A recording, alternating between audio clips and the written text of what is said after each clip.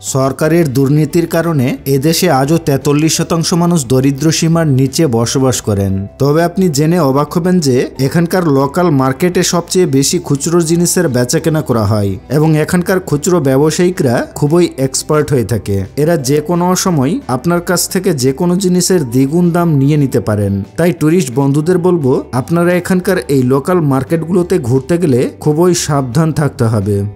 জি হ্যাঁ বন্ধুগণ, আজকে আমি আপনাদের ভ্রমণে নিয়ে যাব লাউস দেশে। লাউস দক্ষিণ পূর্ব এশিয়ার একটি স্বাধীন রাষ্ট্র।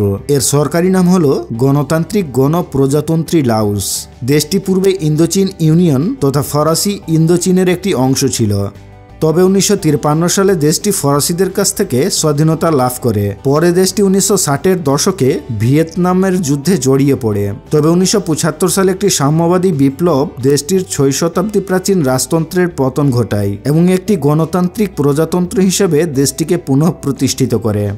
লাওসে শান্তিপূর্ণ অর্থনৈতিক, রাজনৈতিক ও সামাজিক পরিবর্তন আহ্বানকারীর পোস্টার প্রদর্শনের চেষ্টা করার জন্য অক্টোবর উনিশশো নিরানব্বই সালে ত্রিশ জন যুবককে গ্রেপ্তার করে নেওয়া হয় এবং তাদের মধ্যে পাঁচজনকে পরবর্তীতে দেশদ্রোহের অভিযোগে দশ বছরের কারাদণ্ডে দণ্ডিত করা হয়। লাউস সরকার তার কর্মের সমালোচনা প্রতিরোধ করার জন্য সমস্ত মিডিয়া চ্যানেলগুলিকে ব্যাপকভাবে নিয়ন্ত্রণ করে থাকে, যারা সরকারকে নিন্দা করে এমন লাউস নাগরিকদের বাধ্যতামূলক ও দৃশ্যত অবাধ গ্রেপ্তার এবং তাদের উপর নির্যাতন করা হয়।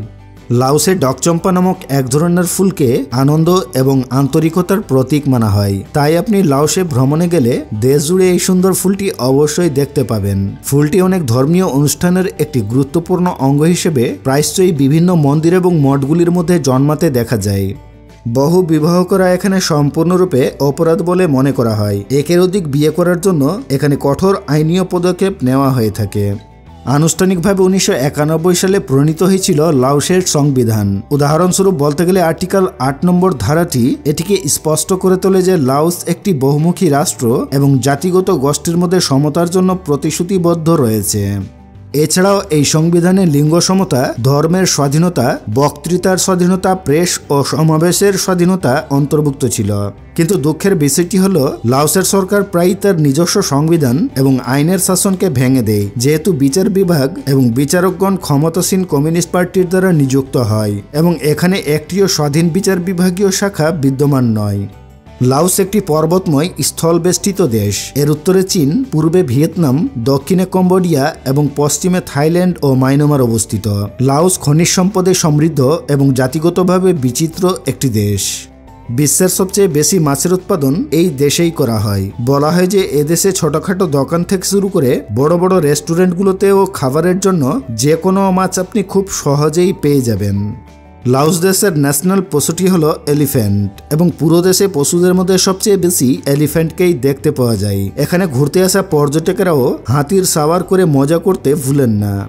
প্রত্নতাত্ত্বিক প্রমাণাদি থেকে ধারণা করা হয় যে, খ্রিস্টপূর্ব চতুর্থ শতাব্দীতে কৃষক সমাজ বিকাশ লাভ করে। মাটির নিচে পতাজার এবং অন্যান্য প্রকারের সমাধিগুলো থেকে ধারণা করা হয়, সেই সময়ের সমাজ ব্যবস্থা খুবই জটিল ধরনের ছিল এবং সেই সময়ের প্রায় দেড় হাজার খ্রিস্টপূর্বাব্দে ব্রঞ্চের সরঞ্জামাদি আবির্ভূত হয় এবং প্রায় সাত হাজার খ্রিস্টপূর্বাব্দ থেকে লোহার সরঞ্জাম তৈরি করা শুরু হয়।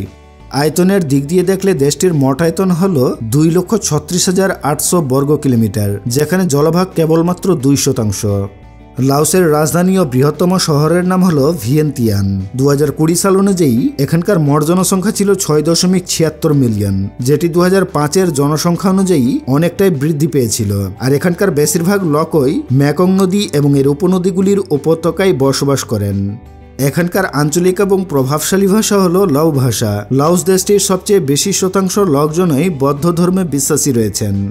ভাষাবিজ্ঞানী ও অন্যান্য ঐতিহাসিক প্রমাণের ভিত্তিতে থাইভাষী উপজাতিগুলো অষ্টম থেকে দশম শতাব্দীর মাঝামাঝি সময়ে দক্ষিণ, পশ্চিম থেকে লাওসের আধুনিক অঞ্চলে এবং কুয়াংসি থেকে থাইল্যান্ডের আধুনিক অঞ্চলে স্থানান্তরিত হয়।